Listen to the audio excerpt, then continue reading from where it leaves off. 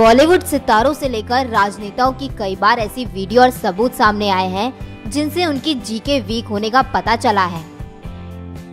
जिनका social media पर भी जमकर मज़ाक बनाया गया है। लेकिन इस बार ये गलती किसी छोटे मोटे नेता से नहीं, बल्कि देश के प्रधानमंत्री नरेंद्र मोदी से हुई है। जिनकी हिंदी का सोशल मीडिया पर अब मज़ाक बनाया जा रहा है और विपक्षी पार्टियाँ उनकी चुटकी ले रही हैं। जी हाँ, नेपाल की दो दिवसीय राजकीय यात्रा पर पहुँचे पीएम मोदी। एयरपोर्ट से सीधे हिंदू देवी सीता के नाम पर बने जानकी मंदिर पहुँचे थे। पीएम मोदी नेपाल के जनकपुर में 20वीं सदी के प्रसिद्ध जानकी मंदिर में विशेष पूजा अर्चना भी की।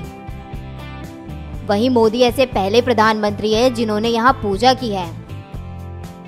इसी दौरान पीएम मोदी ने जानकी मंदिर में विजिटर बुक में लिखा जनकपुर धाम जाने की मेरी लंबे समय की इच्छा पूरी हो गई। यह मेरे लिए इस तीर्थ स्थल पर आने का एक यादगार अनुभव है, जो नेपाल और भारत के लोगों के दिल में एक विशेष स्थान रखता है। हालाँकि पीएम मोदी ने अंत में जब इस बुक में जय सिया राम लिखा तो वो एक गलती कर बैठे। उन्होंने माता सिया की मात्रा गलत लगा दी, जिसके बाद वो विपक्षी नेताओं के निशाने पर आ गए।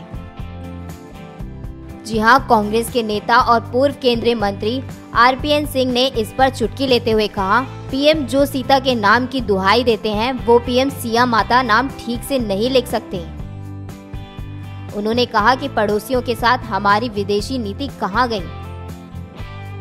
बता दें, अब ये तस्वीर सोशल मीडिया पर भी खूब वायरल हो रही है। Viral news.